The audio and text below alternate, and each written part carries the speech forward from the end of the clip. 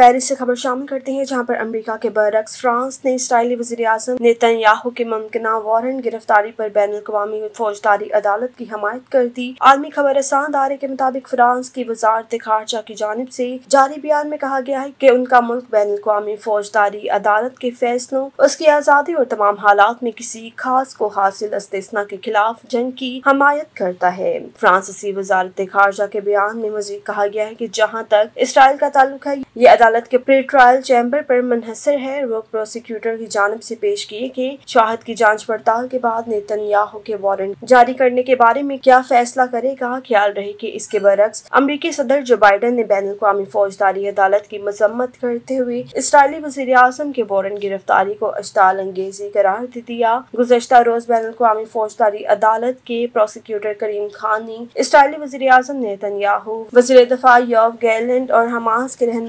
ये या संवार मोहम्मद देव और इस्माइल हनिया के वारंट गिरफ्तारी की दरख्वास्त की थी